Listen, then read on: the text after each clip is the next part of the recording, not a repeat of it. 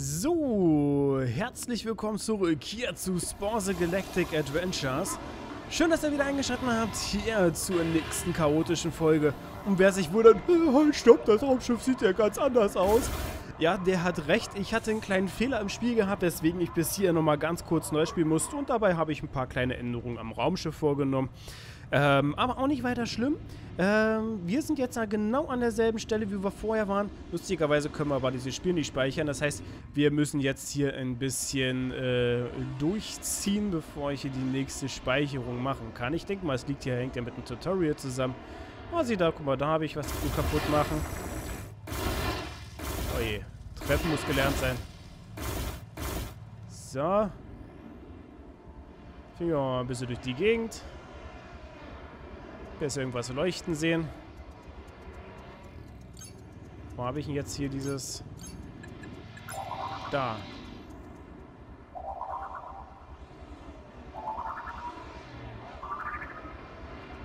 Hier sind noch welche. Ich soll ja nicht ganz kaputt machen, die ganze Angelegenheit.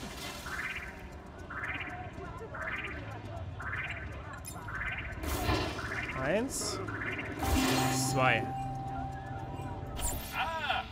Löbliche Arbeit. Du bist aus dem richtigen Holz geschnitzt. Du, du hast dir den Respekt und das Vertrauen deiner Heimatwelt verdient. Wir wollen, dass du als Pilot dieser Raumschiffe unsere Rasse bei den Erforschungen der Galaxie vertrittst und uns Ehre machst. Du bekommst die Plakette und damit den Titel Kapitän. Unsere Wissenschaftler haben einen interplanetaren Anschiff für dein äh, Raumschiff entwickelt. Aber du musst ihn noch installieren, Captain. Klar, ich bin bereit. Mit dem Handelswerkzeug kannst du Werkzeuge, Gewürze und seltene Objekte kaufen und verkaufen. Objekte aus deinem Frachtraum, ähm, die verkauft werden äh, können, erscheinen im unteren Handelsmenü. Klicke auf das untere Handelsmenü. Interplanetarer Antrieb. Jawohl. Objekt kaufen. Jawohl.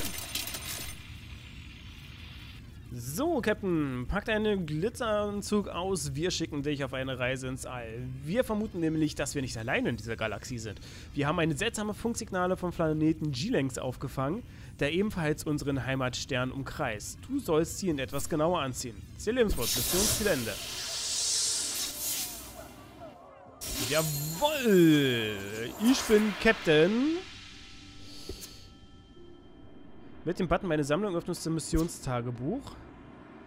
Oh Gott. Verdiene Plaketten durch Aktionen und Abenteuer im All. Plaketten schaffen neue Werkzeuge frei, die du kaufen kannst. Außerdem steigt dein Rang und du erhältst neue Titel und Fertigkeiten. Ähm... Ja.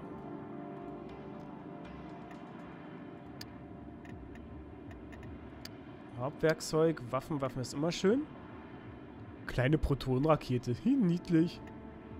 Steht zum Verkauf. Finde das anbietende Reich. Okay. Also muss ich es quasi immer finden.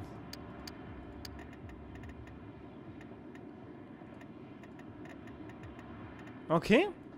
Interessant.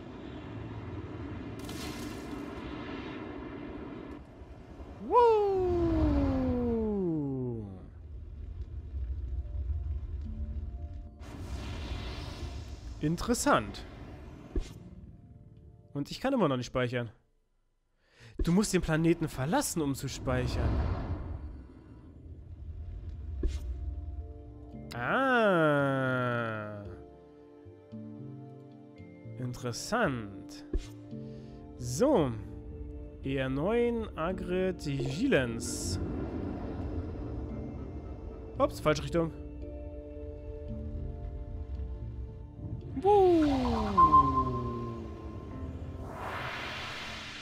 Da ist etwas auf dem Schiffsradar. Piep, piep, piep, piep, piep. Oh, ist ja niedlich. Es ist ein abgestürztes Raumschiff und es sendet ein seltsames Funktier aus. Funktier aus. Fliege dorthin und untersuche das Scannerwerkzeug mit der Abschluss, Absturzstelle. Oh Gott, oh Gott, lesen muss gelernt sein. So, Scanner ist ausgerüstet.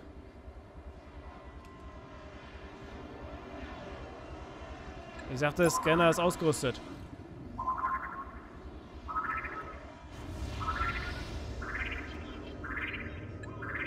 Scan. Piep, piep, piep, piep.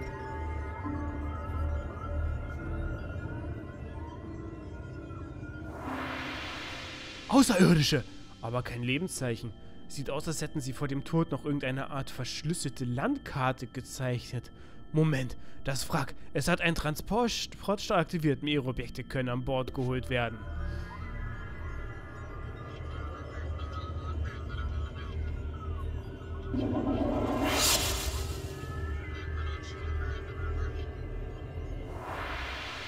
Raketen und interstellarer Antrieb in den offenen Sternkoordinaten einprogrammiert sind. Raketen, denn interstellarer Antrieb in den offenbar Sternkoordinaten einprogrammiert sind. Komischer Satz. Der Schaden am Wrack scheint von einem Kampf herbeizuführen. Das Schiff sollte wahrscheinlich für einen anderen Planeten Hilfe holen, aber es hat ihn nicht geschafft. Oh. Uh. Kann nur auf Raumschiffe, Geschütze oder Fahrzeuge zählen. Okay. Was haben wir hier noch so Schönes zum Erkunden? Hauptwerkzeug, Scan.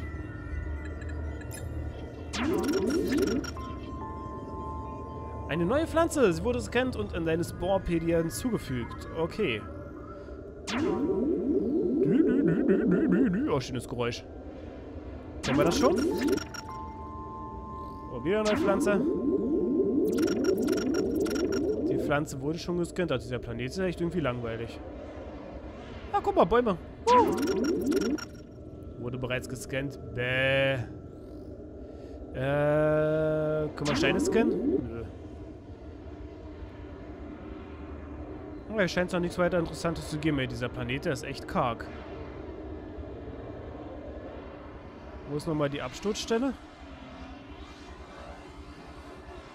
Äh... Captain, ich habe mich verflogen. Kann ja nicht so schwer sein, die Absturzstelle zu finden. Da. Scanne das nochmal. Nee. Hier gibt's nichts zu scannen. Meine Sammlung. Sporpedie. Ich will da rein. Oder auch nicht. Na dann, auf geht's wieder nach oben. Ab in die Weiten des Weltalls. So. Verlasse dieses Sonnensystem. Okay, ich gehe mal dahin. Und runter. Oh, schöner. Es ist zu gefährlich, sich diesen Planeten zu riesen. Dieses Gasriesen. Okay. Guck mal, Komet, Komet, Komet. Ich will zum Komet. Ich will da zum... Okay, dann halt nicht. Dann halt dahin. Oh, unbeansprucht.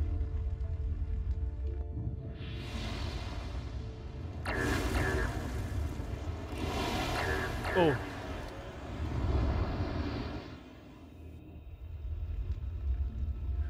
Irgendwie habe ich gerade Schaden genommen. Okay.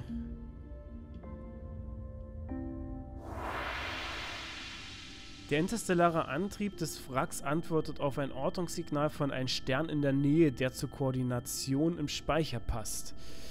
Äh, du musst ihr Heimatplanet, das muss ihr Heimatplanet sein. Wir brauchen, äh, vielleicht brauchen sie immer noch die Hilfe. Halleluja. Heute die Waldfee. Okay.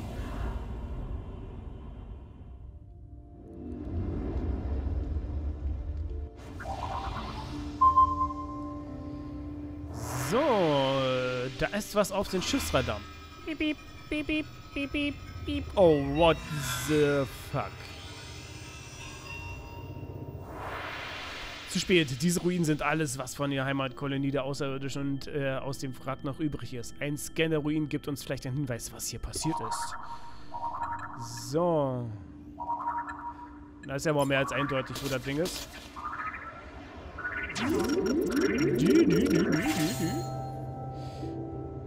Oh, da hinten ist was. Der Scan hat nichts ergeben, aber eine Reaktion hat es trotzdem ausgelöst. Wir haben irgendeine Aktivität auf den Radarschirm. Schiffe!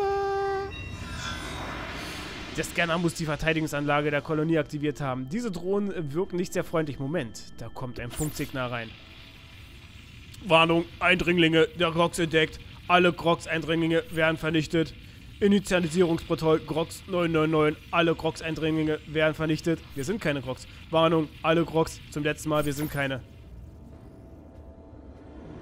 Mission ausgeführt, kehre auf den Heimatplaneten zurück. Okay. Ich verpiss mich mal hier. So. Hopp.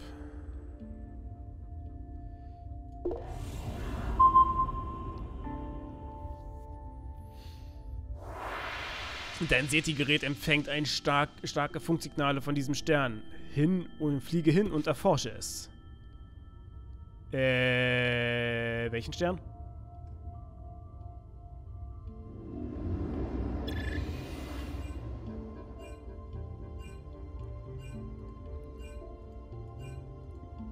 Ja, ich will ja... Gehe ich halt runter. So. Ich würde mir gerne das angucken und anhören, aber... Hier ist ja ein rotes Gewürz. Kann ich das hier ablagern?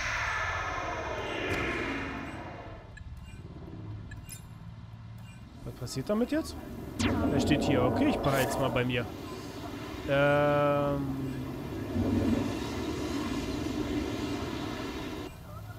Irgendwer will was von mir?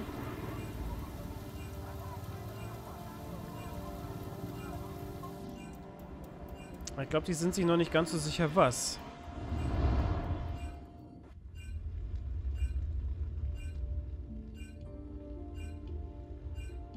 Na. Ich will das anklicken. Lass mich anklicken. Okay, dann speichere ich erstmal ganz kurz. Vielleicht bebt das ja das Problem. Jawohl, es wurde gespeichert. Weiterspielen. Kann ich jetzt anklicken? Ich will anklicken. Warum kann ich nicht anklicken? Ist nicht der, wo ich nicht... Ja, das darf ich nicht sein, ja.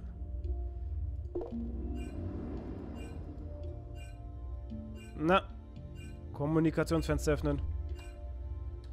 Gab es nicht auch irgendeine Taste dafür? Zum Beispiel K oder so? Äh, Steuerung. Oh ja, das ist Steuerungsübersicht ist ja echt hier fantastisch. Ich kann das Kommunikationsfenster nicht öffnen. Warum?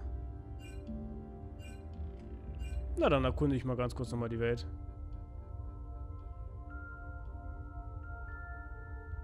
Kann ich hier hin? Entfernung 1 PC. Entfernung 2. 2,2, was auch immer das bedeutet. Ich glaube, das wird nochmal erzählt. Ich fliege nochmal zurück.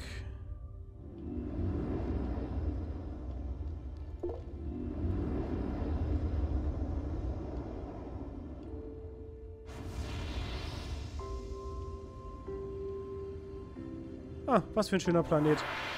Du hast einen unbefruchtbaren Planeten entdeckt. Unfruchtbare Planeten können eine Kolonie am Leben erhalten. Du kannst aber auch einen Terra-Score erhöhen ähm, und dann einen gewinnträchtigen Raumhafen für dein Reich errichten.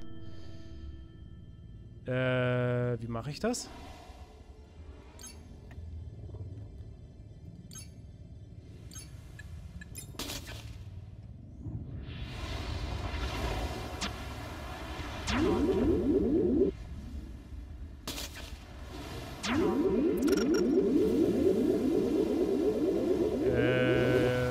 Okay.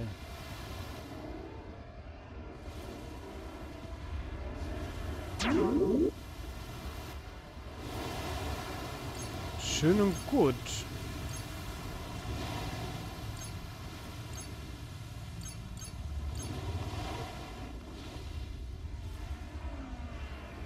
Ich habe keine Ahnung, wie ich das mache. Okay, ich verpiss mich mal hier ganz schnell. Hui!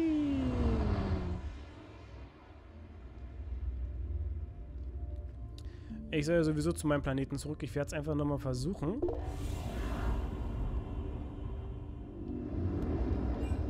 So.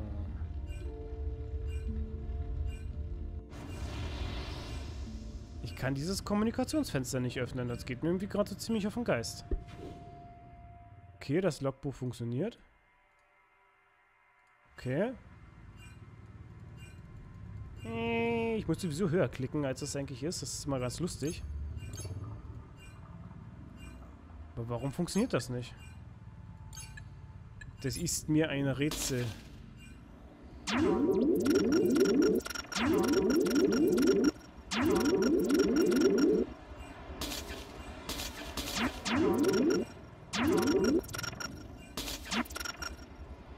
Das ist jetzt echt verwundernd. Das jetzt nicht funktioniert. Hm. Ich werde einfach mal äh, gucken in der nächsten Folge, äh, woran das Problem dann liegt. Ich werde einfach mal hier außer Reichweite des Planetens reisen. Nein, ich wollte nicht rein, ich wollte raus.